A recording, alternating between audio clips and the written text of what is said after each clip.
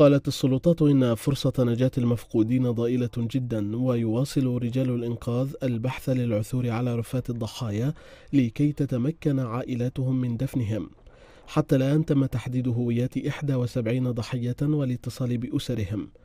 قال قائد فريق الإطفاء في مقاطعة ميامي ديدا لأن كومينسكي إن تاريخ انتهاء هذه العملية ليس واضحا بسبب صعوبة تحديد الوقت المستغرق للعثور على الرفات لكنه يتوقع يتراوح الوقت ما بين أسبوعين لثلاثة أسابيع.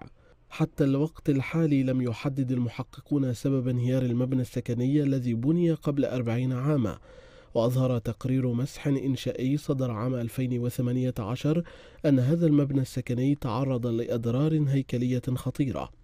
بالإضافة إلى ذلك تم إجلاء السكان من مبنى سكني آخر على بعد نحو ثمانية كيلومترات من هذا المبنى مؤخرا بسبب مخاطر تتعلق بالهيكل الخارجي.